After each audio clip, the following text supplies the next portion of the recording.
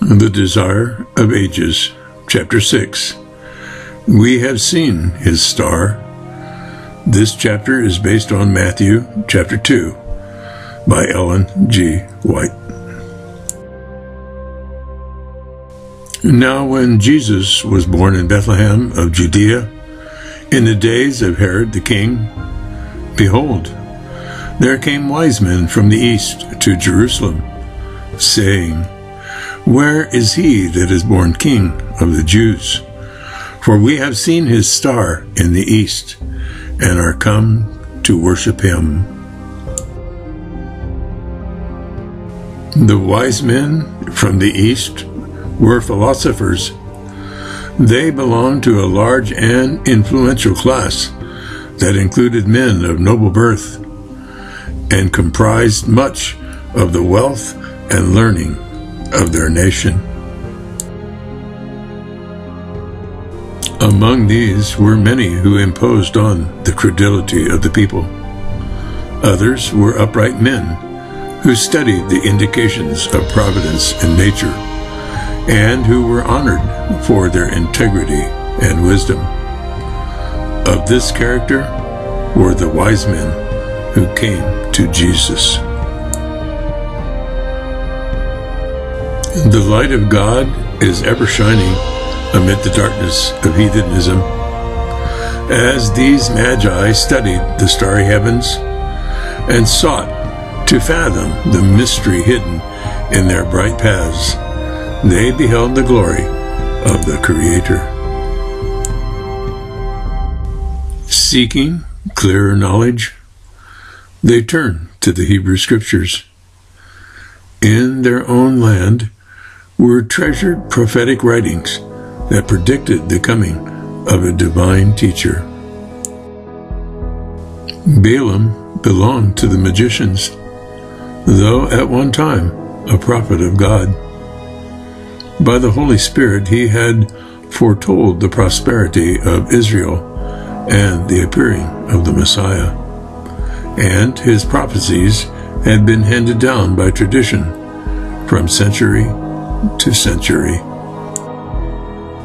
But in the Old Testament, the Savior's advent was more clearly revealed.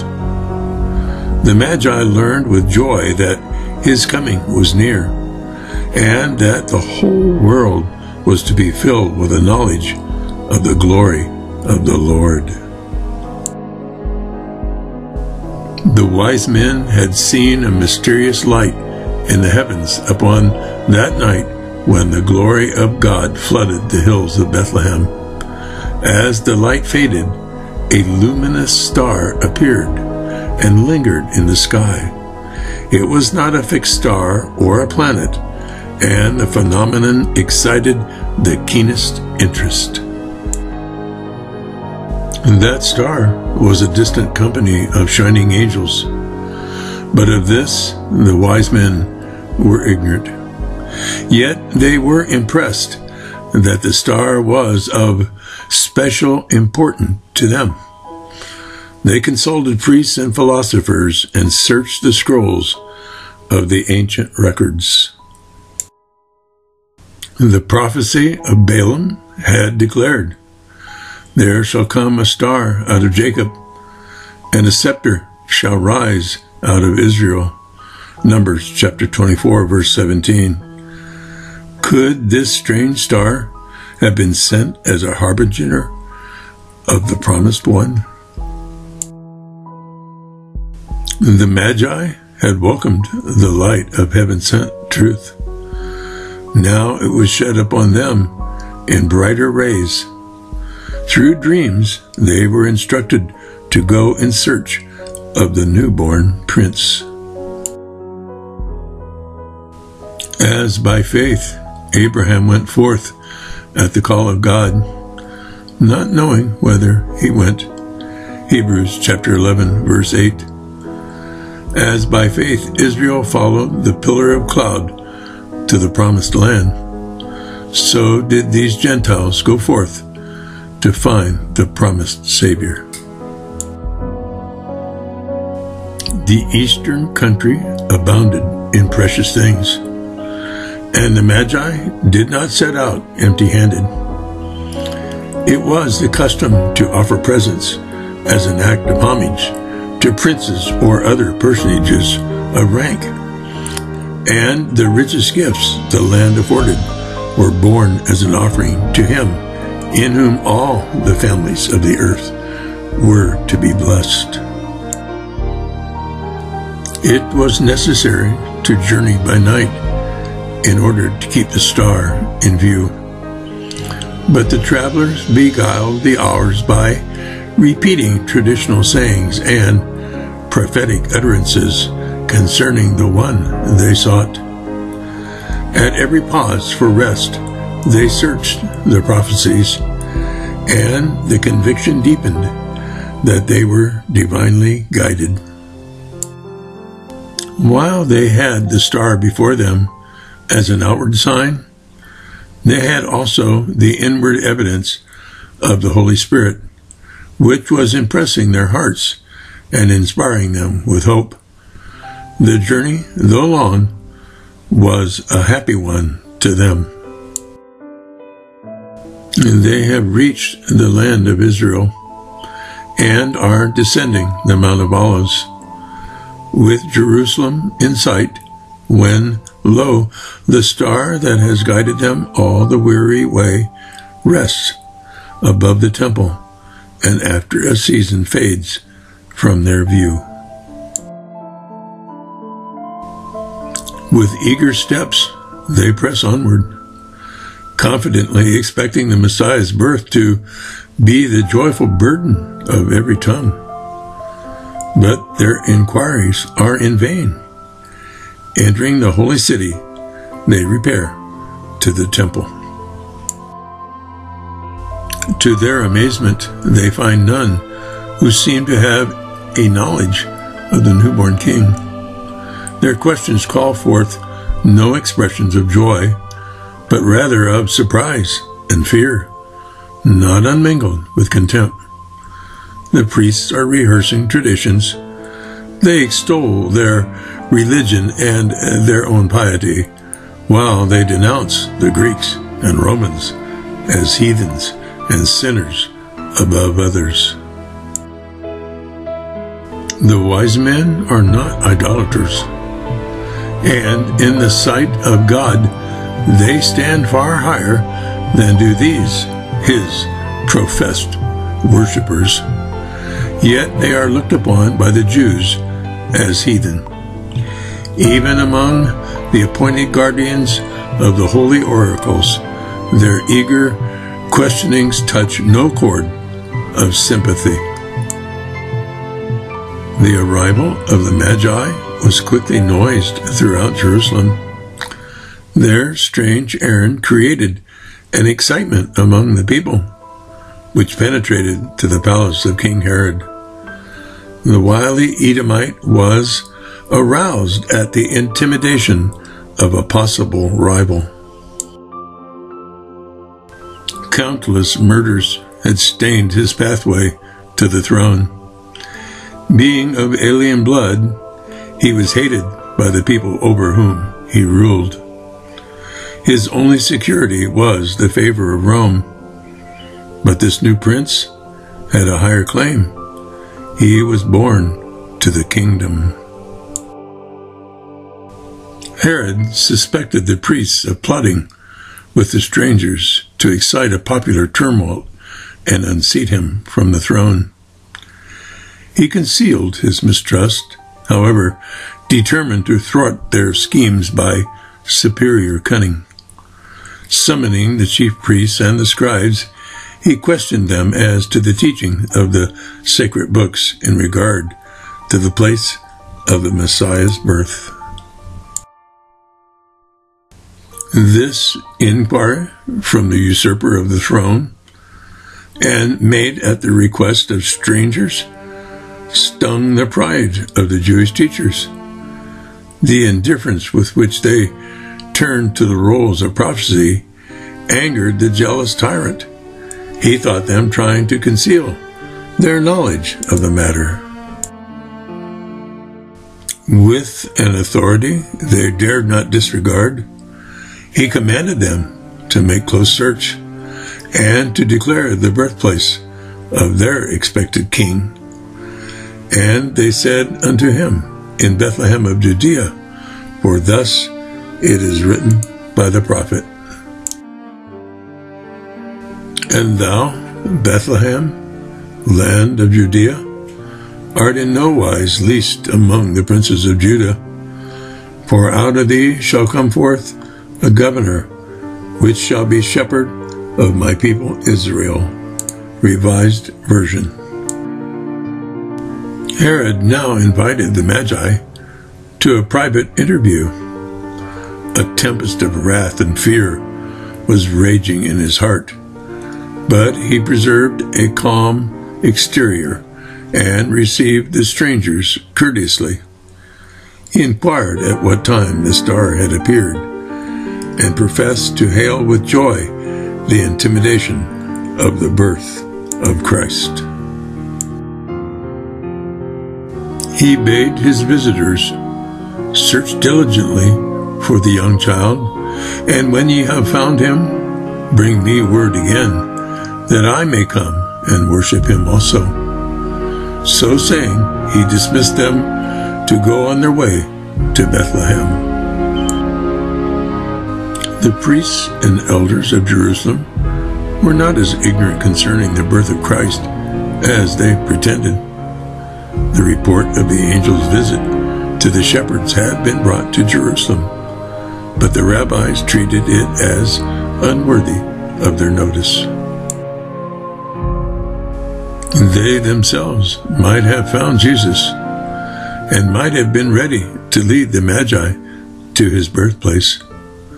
But instead of this, the wise men came to call their attention to the birth of the Messiah. Where is he that is born King of the Jews? They said, for we have seen his star in the east and are come to worship him. Now, pride and envy closed the door against the light. If the reports brought by the shepherds and the wise men were credited, they would place the priests and the rabbis in a most unenviable position, disproving their claim to be the exponents of the truth of God. These learned teachers would not stoop to be instructed by those whom they termed heathen.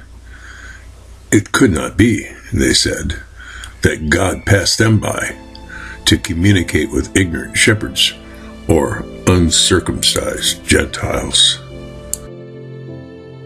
They determined to show their contempt for the reports that were exciting King Herod and all Jerusalem. They would not even go to Bethlehem to see whether these things were so. And, they led the people to regard the interest in Jesus as a fanatical excitement. Here began the rejection of Christ by the priests and rabbis. From this point, their pride and stubbornness grew into a settled hatred of the Savior. While God was opening the door to the Gentiles, the Jewish leaders were closing the door to themselves. The wise men departed alone from Jerusalem. The shadows of night were falling as they left the gates. But to their great joy, they again saw the star and were directed to Bethlehem. They had received no such intimation of the lowly estate of Jesus as was given to the shepherds. After the long journey, they had been disappointed by the indifference of the Jewish leaders and had left Jerusalem less confident than when they entered the city. At Bethlehem, they found no royal guard stationed to protect the newborn king. None of the world's honored men were in attendance. Jesus was cradled in a manger. His parents, uneducated peasants, were his only guardians. Could this be he of whom it was written that he should raise up the tribes of Jacob and restore the preserved of Israel? That he should be a light unto the Gentiles and for salvation unto the ends of the earth? Isaiah chapter 49, verse 6. When they were come into the house, they saw the young child with Mary his mother, and fell down and worshipped him. Beneath the lowly guise of Jesus, they recognized the presence of divinity. They gave their hearts to him as their Savior, and then poured out their gifts, gold, and frankincense, and myrrh. What a faith was theirs! It might have been said of the wise men from the East, as afterward of the Roman centurion, I have not found so great faith, no, not in Israel. Matthew chapter 8, verse 10. The wise men had not penetrated Herod's design toward Jesus. When the object of their journey was accomplished, they prepared to return to Jerusalem, intending to acquaint him with their success. But in a dream, they received a divine message to hold no further communication with him. Avoiding Jerusalem, they set out for their own country by another route. In like manner, Joseph received warning to flee to Egypt with Mary and the child. And the angel said, Be thou there until I bring thee word, for Herod will seek the young child to destroy him. Joseph obeyed without delay setting out on the journey by night for greater security. Through the wise men, God had called the attention of the Jewish nation to the birth of his son. Their inquiries in Jerusalem, the popular interest excited, and even the jealousy of Herod, which compelled the attention of the priests and rabbis, directed minds to the prophecies concerning the Messiah and to the great event that had just taken place. Satan was bent on shutting out the divine light from the world, and he used his utmost cunning to destroy the Savior. But he who never slumbers nor sleeps was watching over his beloved Son. He who had rained manna from heaven for Israel and had fed Elijah in the time of famine provided in a heathen land a refuge for Mary and the child Jesus. And through the gifts of the Magi from a heathen country, the Lord supplied the means for the journey into Egypt and the sojourn in a land of strangers. The Magi had been among the first to welcome the Redeemer. Their gift was the first that was laid at his feet. And through that gift, what privilege of ministry was theirs?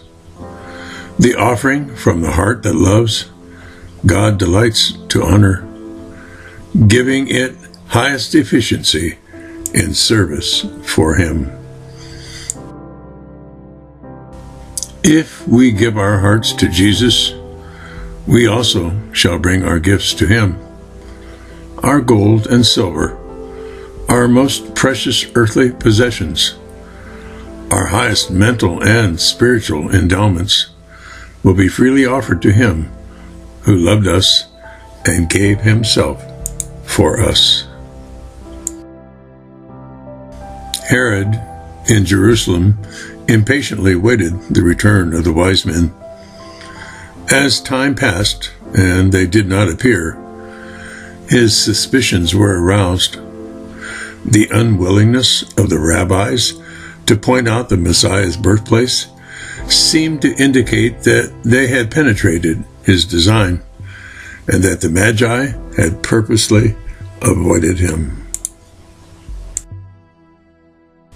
He was maddened at the thought craft had failed, but there was left the resort to force. He would make an example of this child king, whose haughty Jews should see that they might expect in their attempts to place a monarch on the throne. Soldiers were at once sent to Bethlehem with orders to put to death all the children of two years and under. The quiet homes of the city of David witnessed those scenes of horror that 600 years before had been opened to the prophet. In Ramah, there was a voice heard, lamentation and weeping and great mourning. Rachel weeping for her children and would not be comforted because they are not. This calamity the Jews had brought upon themselves. If they had been walking in faithfulness and humility before God, he would in a single manner have made the wrath of the king harmless to them but they had separated themselves from God by their sins and had rejected the Holy Spirit, which was their only shield. They had not studied the Scriptures with a desire to conform to the will of God. They had searched for prophecies which could be interpreted to exalt themselves and to show how God despised all other nations. It was their proud boast that the Messiah was to come as a king, conquering his enemies and treading down the heathen in his wrath. Thus they had excited the hatred of their rulers. Through their misrepresentation of Christ's mission, Satan had purposed to compass the destruction of the Savior. But instead of this, it returned upon their own heads. This act of cruelty was one of the last that darkened the reign of Herod. Soon after the slaughter of the innocents, he was himself compelled to yield to that doom which none can turn aside. He died a fearful death. Joseph who was still in Egypt, was now bidden by an angel of God to return to the land of Israel. Regarding Jesus as the heir of David's throne, Joseph desired to make his home in Bethlehem. But learning that Archelaus reigned in Judea in his father's stead, he feared that the father's designs against the Christ might be carried out by the Son. Of all the sons of Herod, Archelaus most resembled him in character. Already his succession to the government had been marked by a tumult in Jerusalem and the slaughter of thousands of Jews by the Roman guards. Again, Joseph was directed to a place of safety. He returned to Nazareth, his former home, and here for nearly thirty years Jesus dwelt, that it might be fulfilled which was spoken by the prophets, he shall be called a Nazarene. Galilee was under the control of a son of Herod, but it had a much larger admixture of foreign inhabitants in, than Judea. Thus, there was less interest in matters relating especially to the Jews, and the claims of Jesus would be less likely to excite the jealousies of those in power. Such was the Savior's reception when he came to earth. There seemed to be no place of rest or safety for the infant Redeemer. God could not trust his beloved Son with men, even while carrying forward his work for their salvation.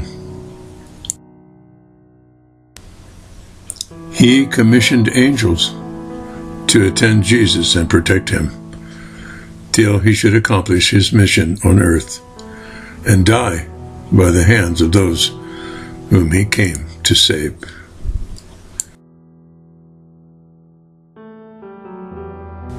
The end. And thank you for viewing this video. And God bless you. This video was produced and narrated by Gary L. Studebaker.